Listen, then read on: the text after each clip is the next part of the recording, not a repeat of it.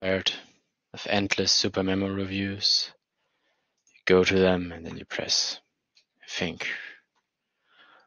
It's a review and you have to answer it and you say, um, and then you have to grade yourself and you have to like go, uh, one, two, three, four, five, great, good, pass, fail, bad. It takes so long. Look at me doing this.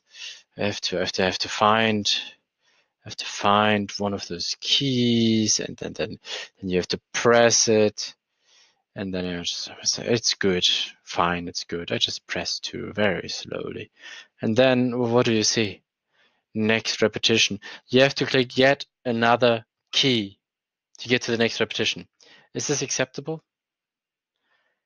Don't you just sometimes wish that you could just kick them?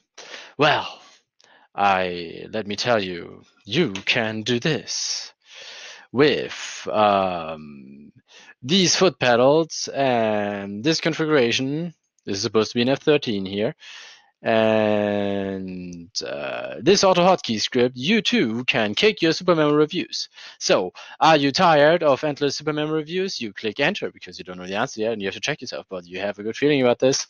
Bam, and then you just uh, click the right pedal to say, "Yeah, four. Four means, "Yeah, I got this. It's it's great."